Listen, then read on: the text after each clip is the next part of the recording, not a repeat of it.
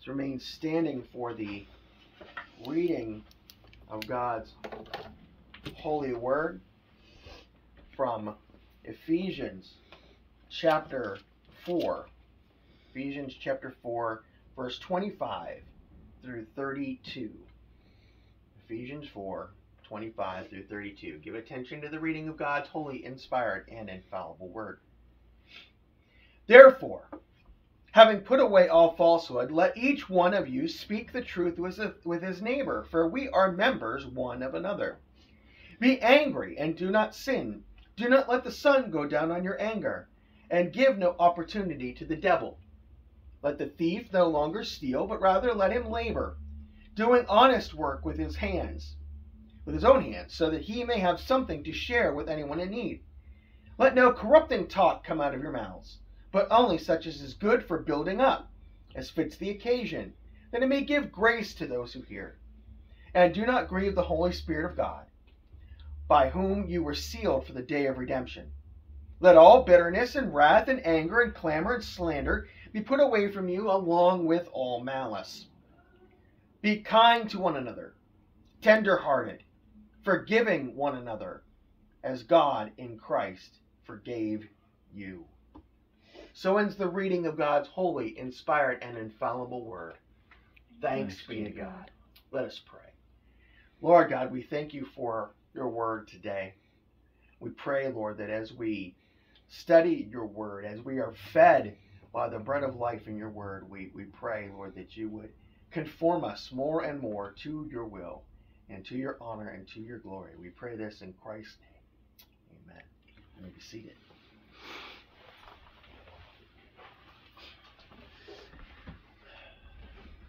As we have been for a while, we are in that section of Ephesians where Paul is making some application to the doctrinal section that he has been uh, taking us through and or had taken us through in the first three chapters, with his emphasis seeming to be on the fact that we are one body in Christ.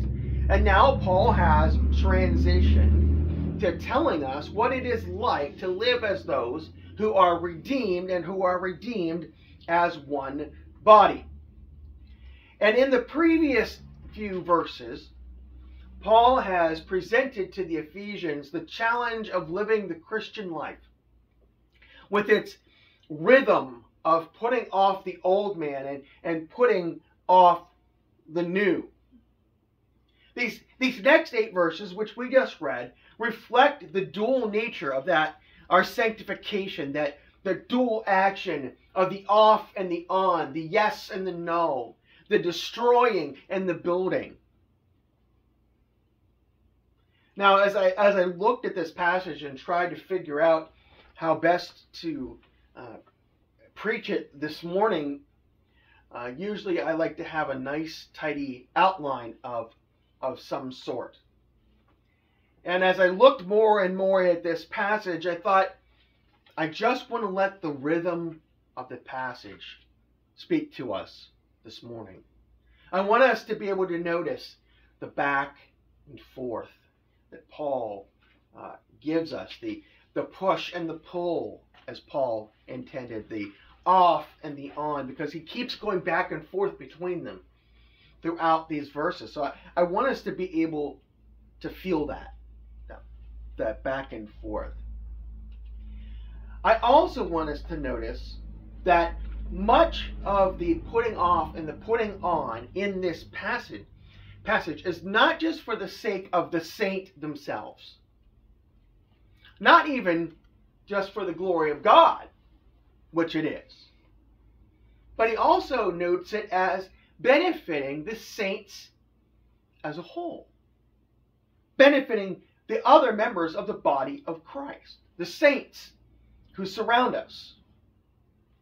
So we can we can say that this is about the treatment of others in the light of the mercies of God in Christ. So let's begin our our time going through this just verse by verse. Therefore, having put away falsehood, let each of you speak the truth with his neighbor, for we are members one of another. So Paul begins here by talking about our speech, putting away falsehood, stopping lying to one another. And that makes sense to us as Christians. It should make sense to us because God is the God of truth. He is truth. His word is truth. And therefore, it makes sense to us that we ought to be those who are people of truth. And he tells us to speak truth to his neighbor. Again, he's making a reference there. If you, you caught it when we read Zechariah earlier, he's repeating that theme. Let each of you speak the truth with his neighbor. Let each of you speak truth to his neighbor. He says, For we are members of one another for we are members of one another. So, not just the fact that we're to speak truth because we are uh, people of the truth, of God, of the truth of His Word, but we're to speak truth because we are members one of another. As it says elsewhere in the Scripture, we're to speak the truth in love to one another, for one another if, if we think about what Paul is saying, Paul is saying, in a sense, not completely, but in a sense, when you lie to others, when you're lying, especially to members of the body of Christ, you're lying to yourself. Because we are members of one another. You're doing the body no good in your lying. In your lying. Instead, you speak truth to one another in love. Now, we're going to see how this carries out even further as we get into these other matters of speech and treatment of one another. But he begins here by telling us to speak truth to our neighbor. Speak the truth to our neighbor. And the best way we can speak the truth to our neighbor, I think, is to be reminding one another of the truths of Scripture and encouraging one another from the truths of Scripture. Now, in verse 26, he says, Be angry and do not sin. Do not let the sun go down on your anger. Now, what's interesting is later on he tells us in verse 31 to put away anger. So, how can he say in one place, put away anger, and in another, be angry and do not sin? Well, I think in the in the other case later on we're going to see that we are talking about acting out in anger because we can get that sense from the things that surround it. But is it possible to be angry and not sin? I'll give you a perfect example. We could talk about Jesus overturning the, the, the changers' tables in the temple. We, that's usually the example that we give. But I've been pretty angry this week. I've been pretty angry because I've been seeing these reports, and it seems like day after day, sometimes three and four times a day, about the things that are going on to my dear brothers in Pakistan. Fortunately, no one I know personally's churches have been burnt, but I'm angry over this. My brothers in Pakistan are angry over this. They are mourning over this as they watch the persecution of their fellow saints. Should we be angry over such things? Should we be angry at the mistreatment of even one brother of another, as we've heard about? Should it anger us? I think these are the kinds of things that we can be angry about, but not sin over.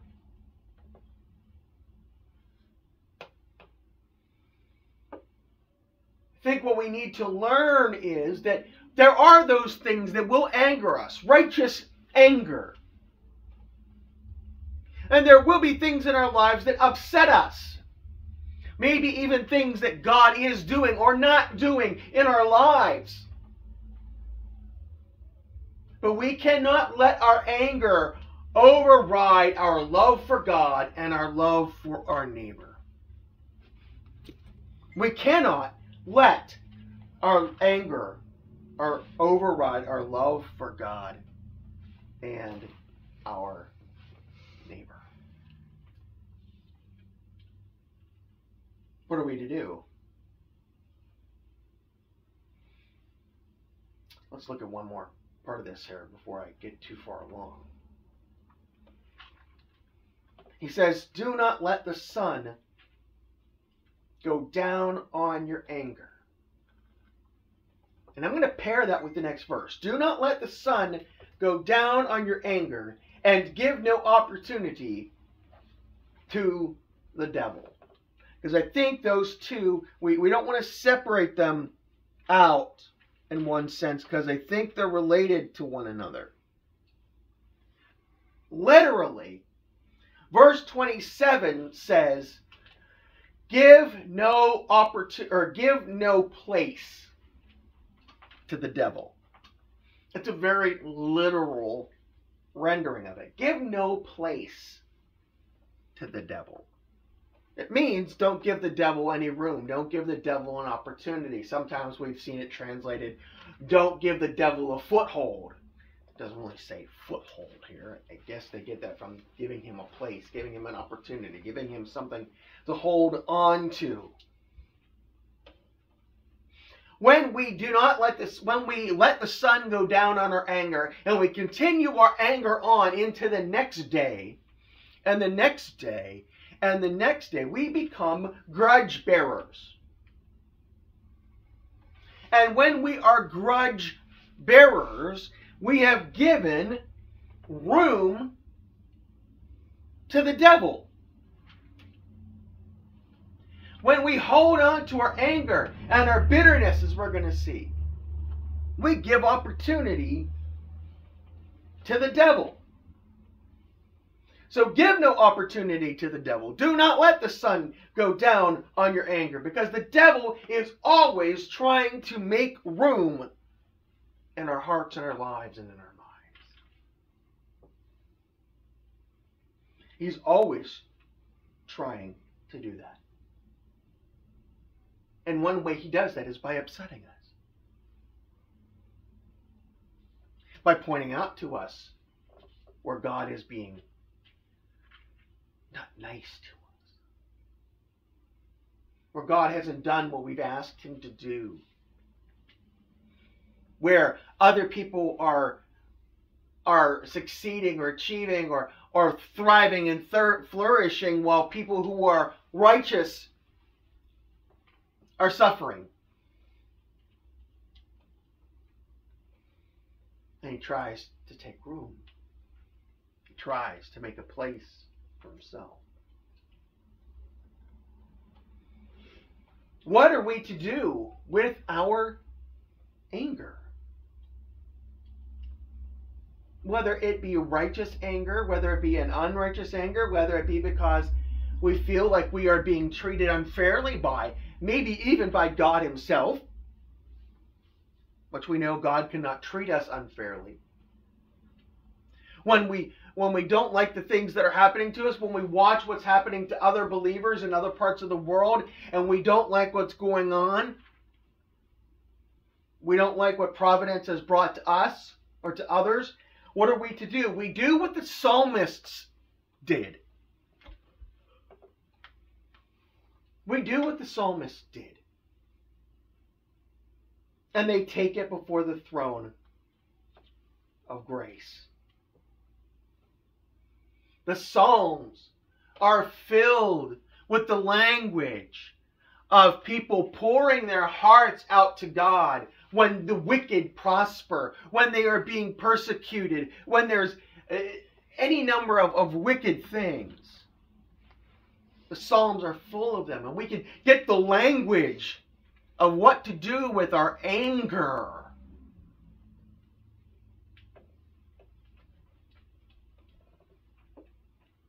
Of course. giving the devil no room doesn't just apply to our anger, does it? It applies to all of the places where the devil can try to make a foothold, take room. He applies it next to stealing. But we could rightly apply that to any number of areas. We could apply it to any of the commands, right? Honor your father and your mother. We could Uh, uh, apply it in the area of adultery, in the area of covetousness, in the area of seeking harm to our neighbors. The devil will always try to make room for those things in our lives, and we cannot allow him to do so. We must grow conscious of the fact. We must be alert to the fact that the devil is trying to make room in our lives and in our hearts and in our minds. And so we must constantly ask ourselves where have we allowed the devil to make room? Where have we allowed the devil to make room in our lives? Is it anger? Is it stealing? Is it adultery? Is it how we worship?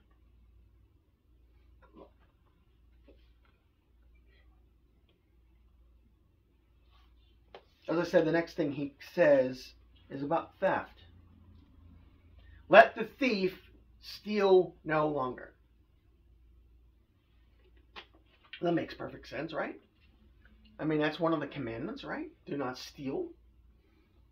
Don't take what's not yours. And there's a whole set of ramifications uh, or implications to that.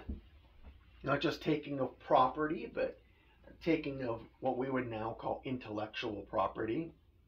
You know, we would stealing people's words, taking credits for things, cheating. Let the thief no longer steal. Now, here is an example again of the putting off and the putting on. What does he say? But let rather let him labor doing honest work with his hands. So he says, don't just stop stealing but go and be productive. Work. Earn your money. Don't steal. But for what reason? Not just to stop stealing. He says, so that he may have something to share with anyone in need. Again, another example of the putting off and the putting on that we ought to engage in as believers. Sometimes we're so focused on not sinning that we're not replacing it. We're not putting anything else on. He says, stop stealing. As a matter of fact, don't just stop stealing, but I want you to go to the other direction, and I want you now to be someone who supplies the needs of others. That's what it means to put off and to put on.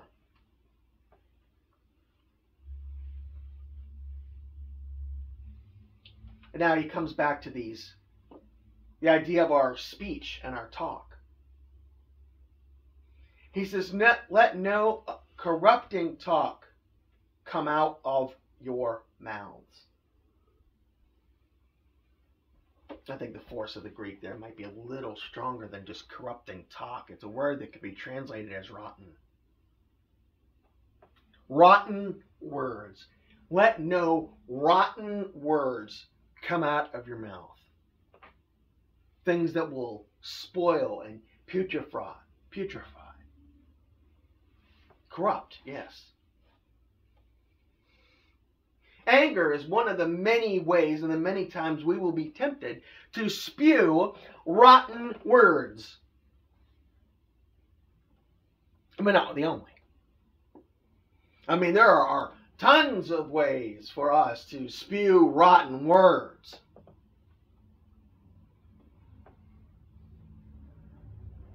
I don't think we have to think too long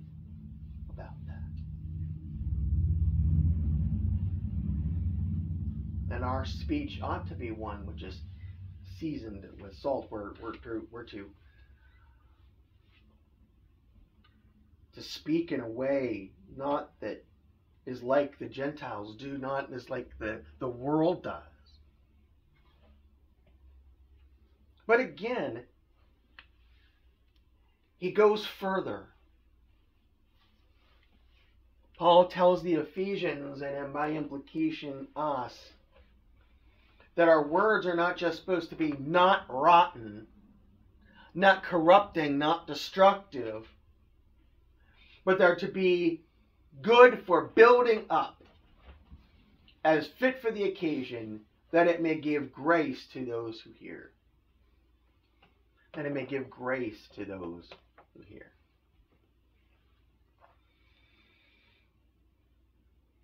Put off, put on. Does our speech do that? Do we actively engage in the encouragement and the upbuilding of others? Do we give grace to others?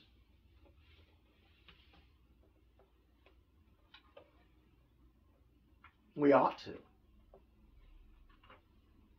I even think of, of those in, in, in Pakistan who are suffering right now, and it would be easy to be someone who would want to curse those who are persecuting them.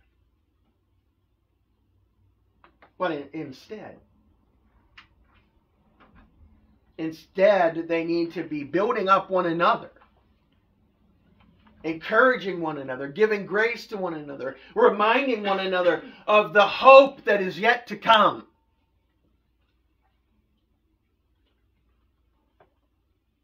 Of the blessings that they have in Christ.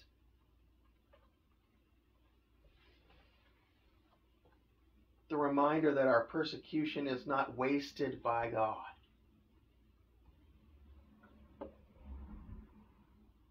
As we are troubled and trialed in our own lives,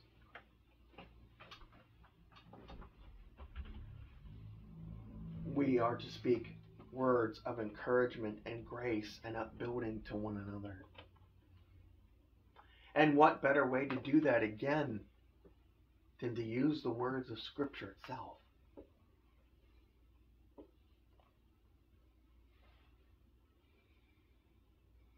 He goes on. Do not grieve the Holy Spirit of God by whom you were sealed for the day of redemption. Do not grieve the Holy Spirit.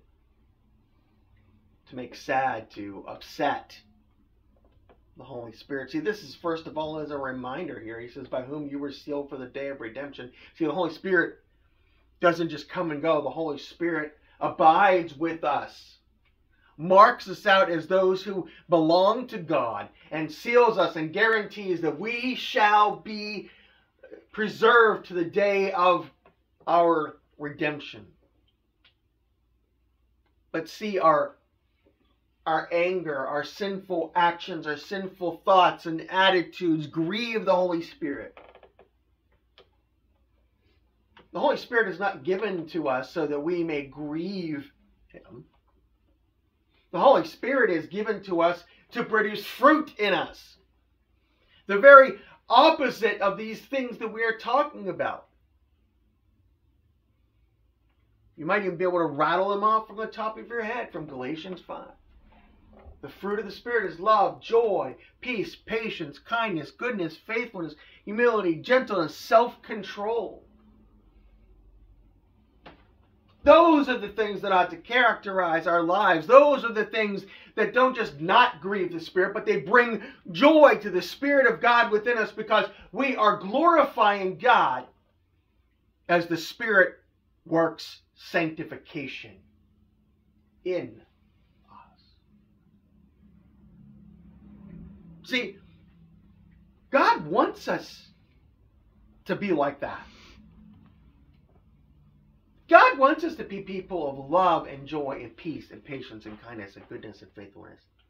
Isn't it wonderful that He doesn't just tell us, well, don't be angry, don't steal, don't lust, don't but but do all these other things. Doesn't it's wonderful that he doesn't just tell us to do that but then he gives us his spirit who then says ah i'm here to to work in you along with the word of god to sanctify you to develop you to to make you into someone who willfully and joyfully speaks words of encouragement who helps to bring joy to the mourning heart peace to the angry and the disturbed. That is the Spirit of God. And again, here is that reminder that we are redeemed. That this isn't just about being a good person. See, pastors, we have to be very careful when we preach the Word of God. That we're not just preaching morality morality divorced from the gospel is nothing. We can preach morality and goodness all we want, but if we fail to preach Christ, we are condemning people to hell who think that they've been good enough. All of these things are meant to be within the context of us as believers seeking to glorify the God who has redeemed us, who has sealed us for the day of redemption. And Paul's going to remind us of that one more time. The, the last verse that we looked at, but we got to look at one more. Let all bitterness, wrath, anger, clamor, slander be put away from you, along with all malice. I think this is one of those times where Paul's just trying to catch all. Every kind of, of anger that, that stirs up in our hearts, every type, every type of division and nastiness, every type of killing with our hearts and our words. Remember, Jesus equates hatred with murder in the heart. Bitterness, wrath. I think we, we got those, right? Those are easy. Anger. Clamor may be one that we don't, it doesn't quite as easily come across to us. Clamor is the idea of crying out, an angry shouting, a making a fuss. I think it's even more than throwing a temper tantrum. In today's world, we clamor in so many different ways. We don't even have to open our mouths to clamor anymore. We don't have to be vocal. We can do it with our thumbs and our fingers on our phones through Facebook and Twitter and other types of social media where we can rant and rave and be angry in front of everyone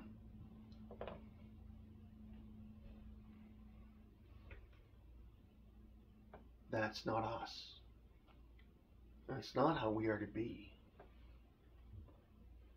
As a matter of fact, we ought to be as God, who has satisfied his wrath toward us. That's why I love that word propitiation in Romans 3.25. The satisfaction of God's wrath. God, in, in for us who are in Christ, his wrath has been satisfied toward us, and that ought to satisfy us. That God's wrath toward us has been satisfied, and so we ought to not be people of wrath. Instead, he says, be kind to one another, tender hearted, forgiving one another. And here, I want us to keep in mind that it seems like everything that Paul is saying, he's talking about our attitude toward one another within the body of Christ.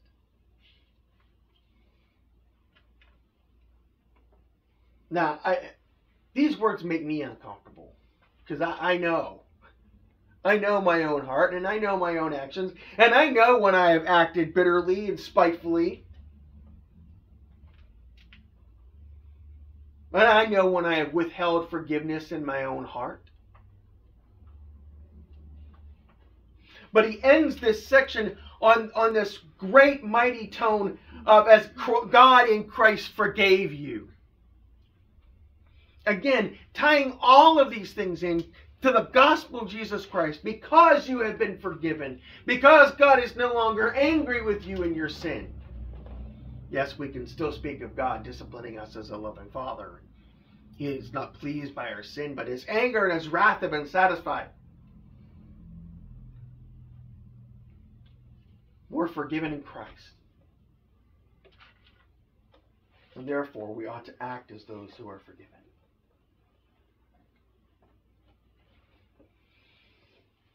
Just a few thoughts in closing. As Christians, our sin impacts others in the body of Christ, and so does our obedience. That's what Paul wants us to see. Our sin impacts others in the body of Christ, and so does our obedience. Our sin is not only an offense to a holy God and grieving to the Holy Spirit, it harms others. It deprives others in the body of Christ of the things that could be beneficial to their Christian lives. Let us, as, as the people of God, be those who desire to live out the love of God to us, the forgiveness of God, the God, God satisfying his wrath toward us. Let us be those who live that out in such a way that we build up one another. And may that building up be a light to those around us.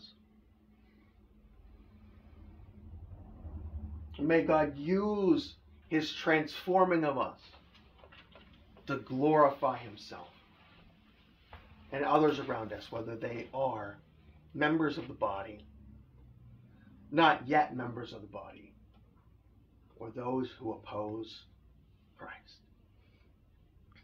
Let's pray. Lord God, we thank you for your word and the challenge of it. Lord, help us to understand your will and your way and your purposes. Grant us the grace and strength we need by your Spirit and by your word to put off sin in our lives and put on righteousness and holiness. To act as those who are righteous before you, for we have been clothed with the righteousness of Christ. We pray this, Lord, in Christ's name. This is Pastor Howard Sloan of King of Kings Reformed Church here in Bedford, Pennsylvania. Thank you for taking the time to listen to this sermon today, and I hope it blessed you. If you would like more information about King of Kings Reformed Church, you can visit us on the web at kingofkingsreformed.com or you can check us out on Facebook at King of Kings Bedford. Either way, I hope you check us out, and may you find the blessing of knowing and being known by our Lord Jesus Christ.